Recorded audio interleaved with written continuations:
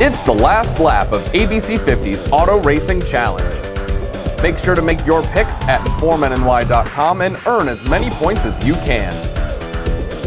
The driver with the most points at the end of each week will receive a $50 gift certificate to Coleman's Corner, and the driver with the highest overall points at the end of the year will receive our $1,000 grand prize gift certificate to Cheney Tire. Sponsored by South Jeff Auto and Lowville Sport and Farm.